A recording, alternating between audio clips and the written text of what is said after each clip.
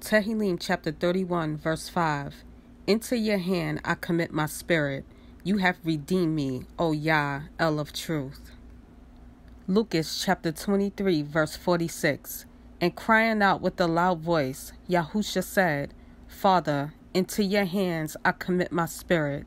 And having said this, he breathed his last.